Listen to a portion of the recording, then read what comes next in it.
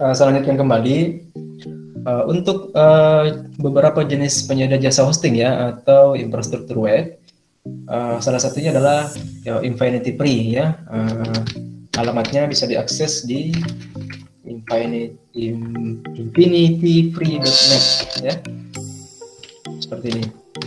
Saya coba ketik di chat saja supaya bisa langsung dicoba ya.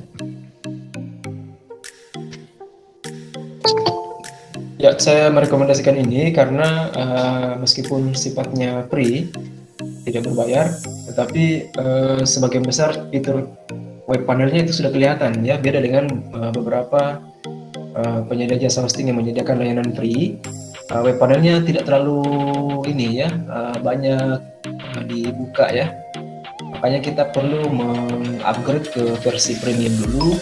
Dalam hal ini kita perlu membayar ya sehingga bisa kita memanfaatkan layanan-layanan yang ada pada uh, panel webnya ya atau biasa kita sebut dengan istilah si panel gitu. Nah, uh, contohnya bisa anda buka, bisa anda coba juga di masing-masing perangkatnya. Silahkan ketik infinityfree.net.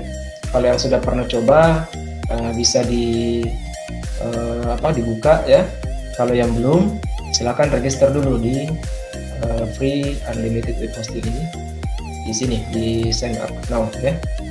Jadi anda pilih sign up now kemudian uh, anda akan diminta ya untuk memasukkan emailnya apa passwordnya apa konfirmasi password kemudian setuju dan centang bahwa anda bukanlah uh, sebuah robot ya.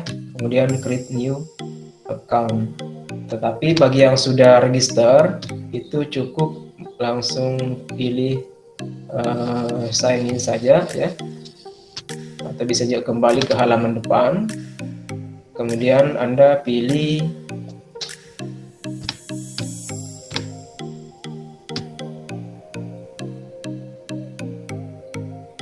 klien area ya bisa klien klien area tampilannya seperti ini. Jadi tinggal masukkan email kemudian ketik password. Uh, tapi pada saat pendaftaran tadi ya jadi bagian belum akun silakan konfirmasi dulu uh, di email ya verifikasi uh, pendaftarannya. Karena kita perlu mengkonfirmasi uh, di uh, emailnya masing-masing jadi kalau belum dikonfirmasi, uh, kita belum bisa menggunakan layanan internet ini. Saya pikir ini sebuah standar ya, uh, ketika kita ini me membuat sebuah akun di beberapa uh, apa halaman web ya, itu pasti membutuhkan verifikasi email dulu. Ini bagian dari keamanan saja supaya ini, ini, ini untuk memverifikasi bahwa betul-betul anda adalah, adalah manusia bukan robot ya seperti itu. Standar keamanan standarnya. Oke, kita coba saja yang yang sudah buat akunnya silahkan login. Silahkan sign in ya. Kemudian masukkan email dan passwordnya. Ya. Nah, kita pilih sign in. Nah, maka akan muncul halaman dashboard untuk Anda bisa kelola ya Eh, kebetulan di sini uh, saya testing tadi ya uh, sebuah akun uh, untuk website akba.avz.com. Tapi kalau misalnya Anda mau buat lagi bisa dengan cara klik create account. Ya, jadi misalnya Anda belum belum pernah membuat sama sekali ya. Ini halaman ini biasanya belum belum menampilkan akun yang sudah pernah Anda buat misalnya masih kosong nah di sini akan diarahkan untuk membuat akun dulu gitu. Create account. Oke. Okay. uh, eh, video ini oh sorry uh, apa uh, ini saya rekam ya jadi kalau misalnya anda mau ulangi silahkan.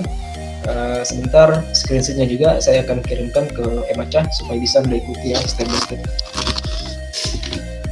okay, kita coba create account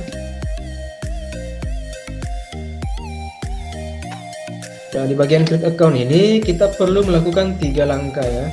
Jadi step satu kita pilih domainnya dulu, kemudian step 2 ini memasukkan informasi. Kemudian ketiga finish ya. Nah yang yang untuk pilihan pertama ini itu ada dua opsi yang ditawarkan. Kita bisa menggunakan yang gratis subdomain seperti ini. Dengan catatan untuk subdomainnya itu bisa dipilih bebas di sini ya. Mau pakai apa saja ya jadi bisa menggunakan infinitefreeapp.com bisa menggunakan lobster blog ya. Lob lob apa? lobs lobs to blog ya. Kemudian rf.gd kemudian gridsite.net apz.com dengan freecluster.eu ya EU nah itu uh, pilihan-pilihannya. Nah untuk subdomainnya ini bebas Anda menggunakan nama apa saja ya. Sesuai dengan standar penulisan nama domain artinya ini tidak boleh di spasi ya karena domain itu sambung ya bisa menggunakan karakter tertentu seperti uh, das ya seperti itu nah ini uh, contoh uh, atau langkah pertama ya tapi bagi yang mau menggunakan domain yang sifatnya berbayar, ya, itu bisa Anda menggunakan di menu custom domain ya. Jadi Anda bisa masukkan domain Anda di sini yang sudah Anda pesan sebelumnya. Gitu. Misalnya smartinovasi.com ya. Nah, kalau misalnya kita searching ya, uh, misalnya bisa pilih custom domain ya.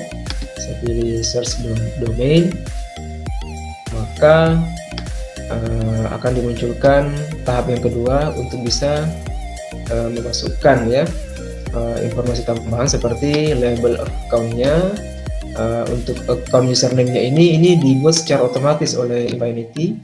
Kemudian uh, password uniknya ya untuk bisa uh, masuk ya ke dalam akun ini.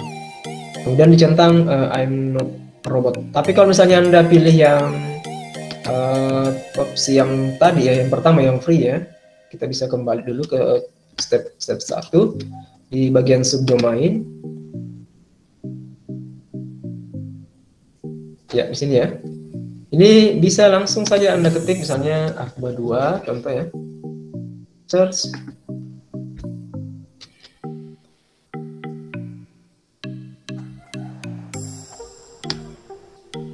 Nah ini sama ya, statusnya sama. Uh, bisa juga diisi uh, untuk uh, akun posternya atau bisa dikosongkan. Kalau dikosongkan ini uh, maka Infinity yang akan mengenerate secara otomatis passwordnya, gitu ya. Ini sama dengan yang tadi juga. Oke, jadi terserah pilihannya Anda mau mau mau mengonlinekan Anda punya aplikasi web itu uh, mau yang domainnya menggunakan subdomain ya yang artinya sub uh, domain itu free uh, atau bisa juga menggunakan yang uh, apa tadi yang berbayar ya yang sudah anda pesan sebelumnya. Nah pertanyaannya untuk yang bayar itu apakah bisa dibeli di luar? Bisa. Ya bisa dibeli di luar. Artinya tidak mesti harus dalam Infinity Free. Misalnya gini ya anda beli uh, hostingnya itu uh, anda beli domainnya itu di uh, salah satu penyedia jasa hosting lain. Contoh uh, master web ya atau uh, mega hoster ya. Nah, Anda tinggal mengarahkan sebentar name servernya ke server Infinity Free ini. Ada istilah NS ya, ada istilah NS. Sebagai contoh misalnya kalau saya pilih tadi custom domain ya, kita langsung create saja supaya lebih jelas. Saya pilih smartinovasi.com search domain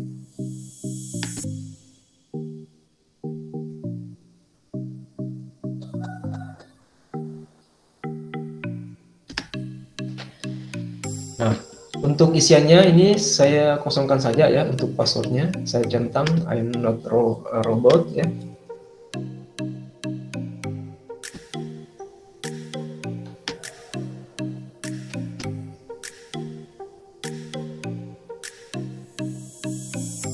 Ya.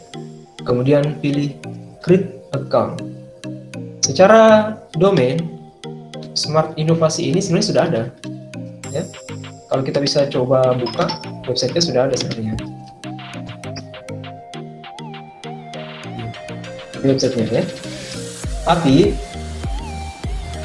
websitenya ini itu uh, mengarah ke uh, apa lagi namanya dia mengarah ke server hosting di mana NS-nya di pointing. Jadi ada istilah pointing name server sebentar ya. Jadi uh, apa istilahnya? Uh, saya, uh, ketika saya mem, mem, nama domain ini ke Infinity Free, maka halaman website yang akan tampil itu adalah halaman website yang ada di Infinity Free. Dan itu membutuhkan proses propagasi domain itu biasanya satu kali 24 jam. Jadi tidak langsung secara otomatis akan tampil uh, berubah, bukan tampilan ini lagi. Tetapi itu membutuhkan proses propagasi domain. Jadi sebenarnya kalau kita mempelajari infrastruktur web, uh, tiga poin penting yang perlu anda jadikan fondasi dulu. Yang pertama itu uh, ada istilah domain. Ya. Domain ini nama, ya penamaan atau biasa kita sebut dengan istilah DNS. Ya. Kemudian yang kedua, uh, filenya atau hostingnya di mana ya?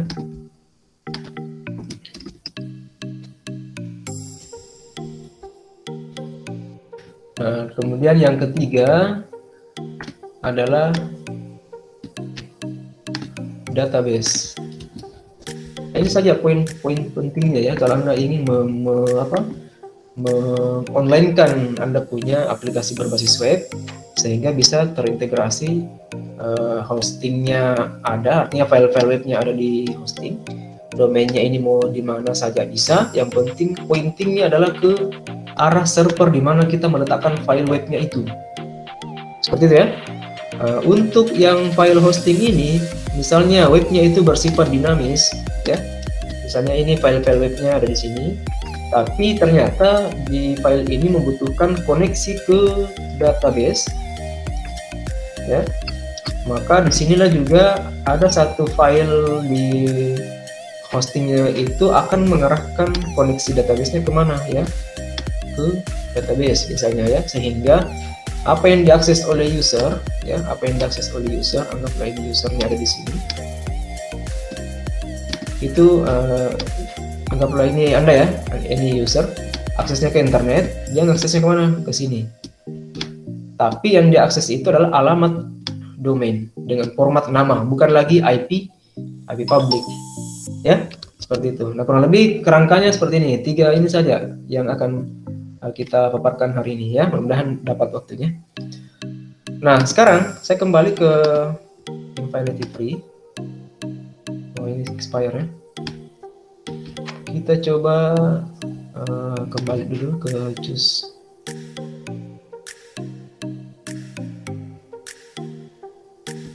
Oke, sambil saya ini ya, sambil saya menjelaskan, kalau ada yang ingin ditanyakan silakan ya. Siapa tahu ada yang ingin bertanya, silakan ya. Bisa langsung uh, diskusi interaktif ya sambil saya bawakan materinya. Ada pertanyaan dulu sebelum saya lanjut?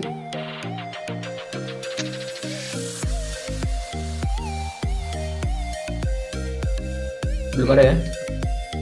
Oke kalau gitu saya coba uh, buat lagi ya sekali. Uh, kita coba pilih uh, sebelum mainnya uh, misalnya akba 2 ya domainnya itu saya pilih misalnya yang gampang disebut ya. Misalnya EPZ saja. Saya pilih search domain.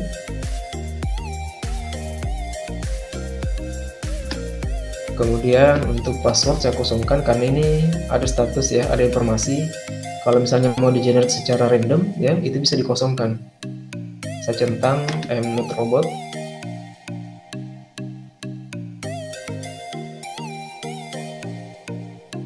kemudian create account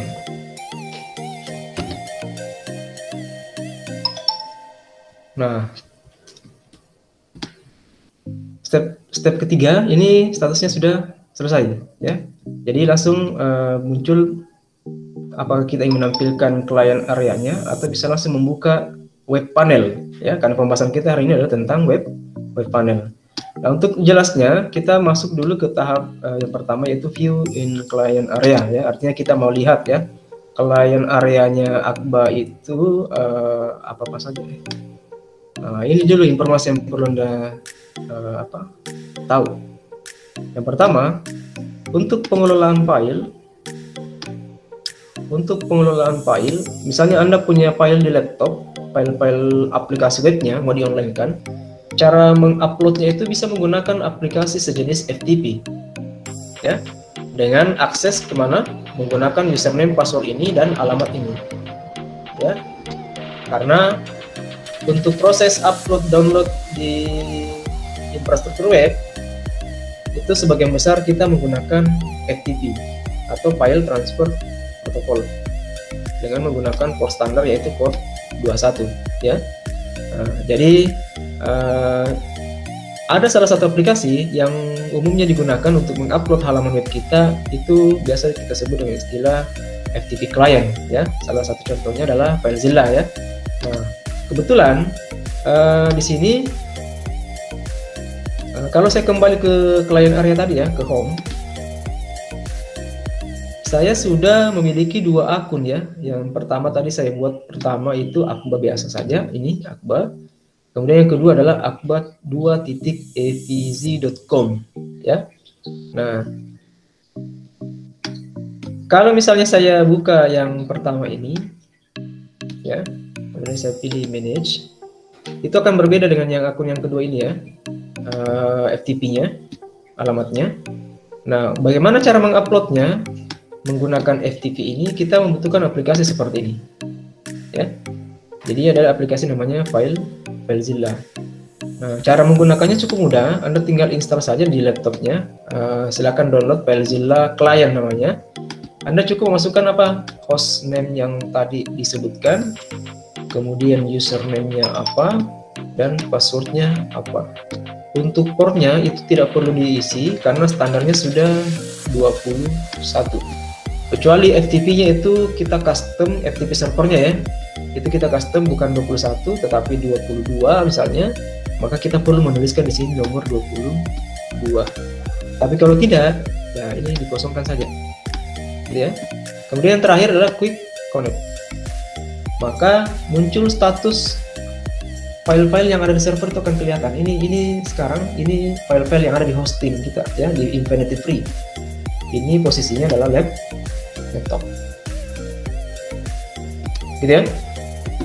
Uh, sebelumnya kemarin waktu meet ada yang sudah pakai ini atau uploadnya melalui halaman web saja?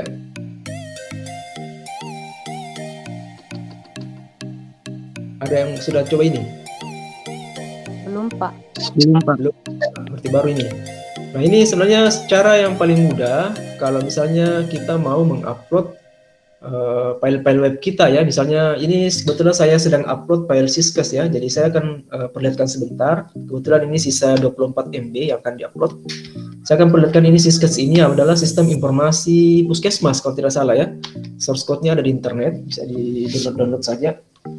Uh, jadi uh, yang tadinya Syscas ini ada di laptop saya di exam, itu saya mau online kan sebentar ya dengan cara apa? Isi-isinya yang ada di htdocs tadi ya. Kan ini kan posisinya di htdocs uh, folder syscas ini isi-isinya itu saya upload ke sini. Ya saya upload ke sini. Di posisi mana? Di dokumen rootnya server infinity. Ya gitu. Nah, kita coba uh, apa? Ke folder folder examnya dulu di laptop saya. Kalau anda mau lihat aplikasinya seperti ini ya Eh, saya masuk di C dulu. Kebetulan saya biasa, misalnya ya, misalnya, ini kebetulan saya bukan programmer. Uh, saya buatnya di exam, sebuah aplikasi web yang misalnya Anda sudah pernah lakukan di uh, mata kuliah pemrograman web 1 dan 2, ya. Saya kan biasanya letakkan di sini kan halaman aplikasinya kan. Uh, misalnya dalam sini Syscas. Uh, inilah isi-isi file-file uh, web yang yang programmer buat atau saya buat misalnya ya. Nah, kita coba jalankan dulu exam ya. Ini saya jalankan exam, exam control.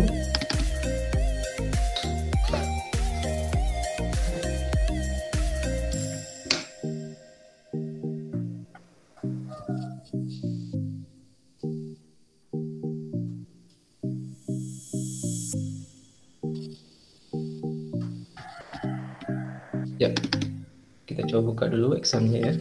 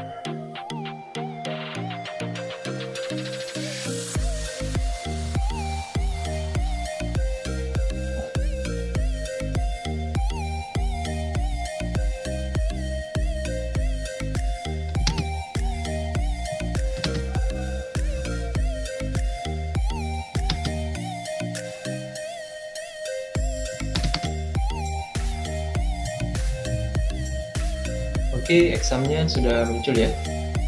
Kita coba start web server. Jadi di sini sebenarnya banyak keliru juga kemarin. Ketika saya tanya, kalau dulu di pembukaan web pakai apa, misalnya ya, uh, pakai database-nya pakai apa? Ada yang bilang pakai exam, salah sebenarnya ya. Exam ini aplikasi suite ya, aplikasi suite di mana exam ini sudah terdiri dari yang pertama ini Apache, ini web server. Ini dulu yang perlu dipahami dulu supaya konsepnya kita seragam ya ini web servernya Apache.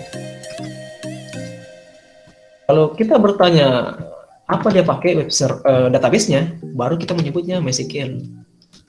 Ini database servernya. Paham ya? Karena karena banyak database server yang bisa digunakan selain MySQL. Misalnya gini, tiba-tiba uh, sebentar anda kerja di BUMN, itu banyak yang pakai misalnya eh, Microsoft SQL Server. Itu bukan MySQL, tapi eh, mirip-mirip sintaksnya karena dia menggunakan bahasa SQL. Uh, misalnya Anda pakai Postgre SQL, itu lain lagi, bukan MySQL itu. Ada juga yang pakai Cassandra, ya, itu Facebook dulu, awal-awal Facebook didirikan, itu menggunakan database Cassandra. Kayak, kayak gitu ya, jadi inilah contohnya. Nah, kebetulan programmer itu digunakan dengan aplikasi exam, karena di exam itu sudah berisi komponen-komponen yang disiapkan untuk para programmer. Uh, ada web servernya, ada database servernya, dan ada bahkan FileZilla. Ini FileZilla server, artinya ini berfungsi sebagai apa? FTP server. Ya, ada email. Ini Mercury, ini email server. Ya, dan Tomcat ini ini web server tapi untuk bahasa uh, Java. Ya, gitu Java web. Nah, ini dulu yang perlu kita pahami ya. Nah, untuk kebutuhan sekarang, sesuai dengan gambar yang saya gambar tadi, itu tiga komponen, ada domain, ada uh, web server ya, file, dan ada database, maka saya cukup menjalankan dua komponen web server, apa, uh, server ini saja. Gitu ya. Kayaknya ada merjain tadi.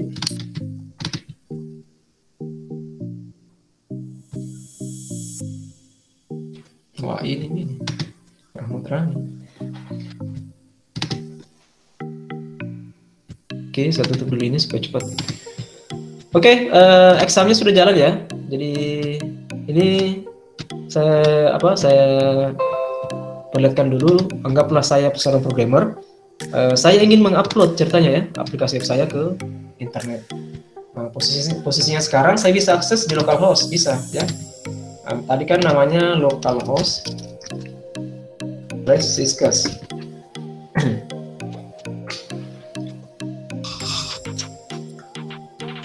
oh sorry. Kebetulan ini pakai Laravel ya. Uh, biasanya Laravel itu uh, di dalam folder publik.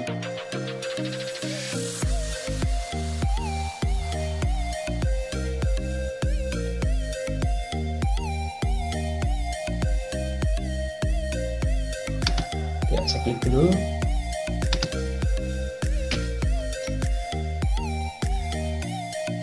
Nah ini sudah mengarah ke halaman login. Nah ini aplikasi, aplikasi Siskes uh, sistem informasi kesehatan ya yang sebenarnya masih jalan di laptop saya tapi saya online kan karena biasa banyak kebutuhan customer itu yang online. Ya sampel saja ini. Uh, ini ini kebetulan menggunakan form form otomatis ini menggunakan database ya. Nah cek databasenya itu menggunakan uh, eh, PHP admin. Kalau kita menggunakan exam dan juga kadang keliru uh, antara PHP admin dengan MySQL. Apa itu bedanya ya? Terkadang disamakan bahwa PHP admin itu adalah database. Oh bukan. PHP admin itu itu hanya tools untuk mengakses database MySQL. Ya, bisa dipahami ya? Iya, Pak. Gambarannya. Jadi PHP admin itu hanya tools untuk mengakses database. Realnya itu adalah dalam bentuk konsol ya, konsol. Sama dengan Linux ya. Uh, kalau kita coba buka localhost-nya, PHP adminnya, sorry.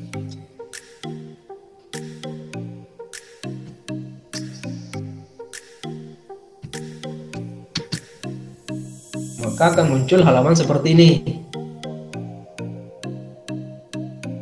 Ya, kita tunggu dulu ya. Agak lambat laptop saya agak ini soalnya speknya rendah ya.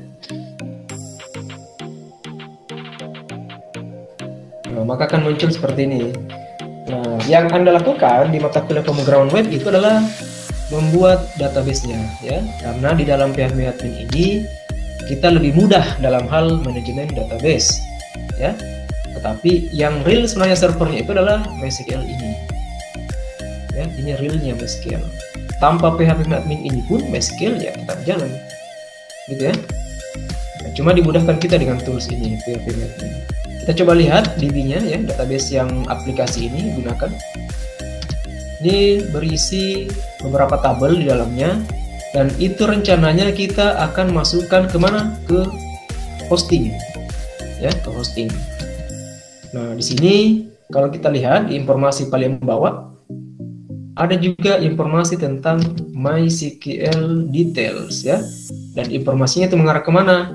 Username dan password artinya apa untuk bisa menghubungkan antara aplikasi kita web PHP kita dengan database, maka eh, koneksinya harus disamakan. Apakah itu menggunakan root, apakah itu menggunakan user biasa seperti ini. Ini tidak menggunakan root ya, tapi kalau di sini localhost itu biasanya standarnya menggunakan apa? Root. Nah, ini yang kadang biasa bingung ketika mengupload, kenapa tidak mau konek-konek ke database? Ya, nah, kalau kita lihat di exam tadi, masuk di HP Docs-nya, this is case study. Nah, itu ada sebenarnya uh, kalau di Laravel ini kebetulan Laravel, ini ada file env namanya env. Saya coba buka. Kenapa bisa uh, tampil ya di halaman ini, di halaman ini? Karena secara standarnya koneksi ke database di exam itu hanya menggunakan root tanpa pas password. Nah, bagaimana kalau ke hosting? Maka username-nya ini harus menyesuaikan dengan apa? Hostingnya. Ini. Jadi saya harus, saya harus ubah uh, sebentar ya file env-nya itu menjadi apa? evis. Passwordnya adalah ini. Gitu ya. Tapi kalau mau diaksesnya di localhost saja, karena localhost itu standarnya adalah root tanpa ini, ini kan usernya root ini ya tanpa password maka saya menggunakan root. Passwordnya kosong gitu ya. Nah ini tabel-tabel uh, yang uh, apa lagi namanya yang terintegrasi dengan aplikasi ini. Kalau kita lihat ini usernya apa kita coba cek tabel user mudah-mudahan ini ya mudah-mudahan uh, dipahami ya sebab ada uh, ini mungkin terlalu cepat ya. Silakan di komentar saja supaya saya bisa pelan-pelan ya. Uh, ini contoh username admin ya. Uh, kita coba tes mudah-mudahan passwordnya admin juga ya. Karena kalau sudah berada dalam database password itu biasanya sudah di hashing ya ini. Sudah diubah dalam format hash. Kita tidak bisa lihat lagi ya kita tidak bisa lihat lagi yang realnya. Tapi bukan ini yang diinput di sini ya beda. Ini kayaknya admin admin ya kalau tidak salah. Kita coba klik masuk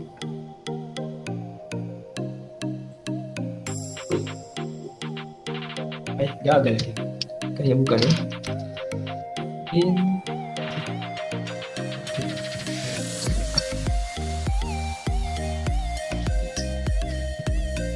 coba cek dulu siapa tak ada informasinya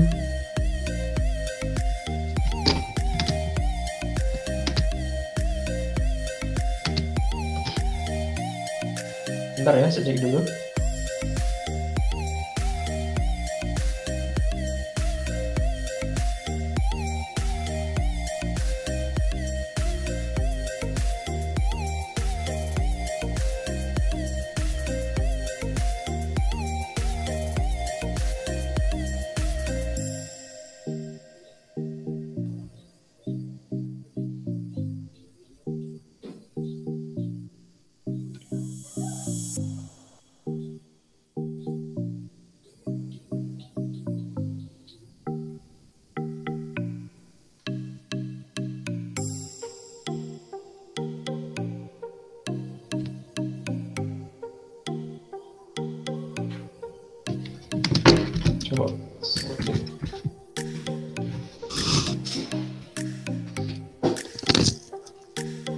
Oke. Sudah berhasil masuk ya. Maka tampilan uh, apa aplikasinya seperti ini ya kalau di localhost.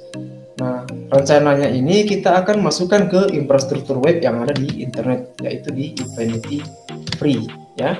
Dengan menggunakan apa? Uh, seperti FileZilla untuk mengupload ya.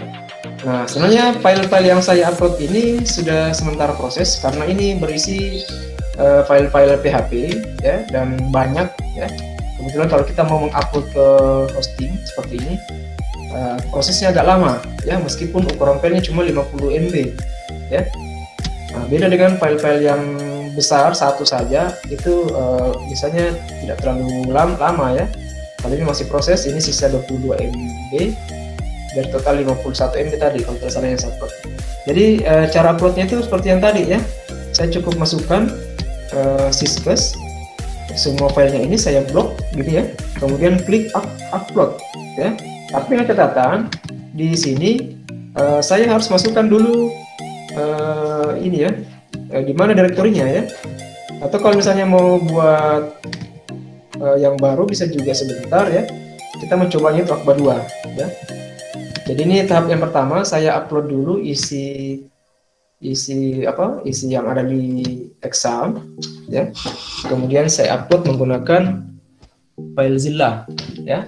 Sesuai dengan apa? Informasi yang ada di hosting saya ya. Kebetulan hostingnya adalah di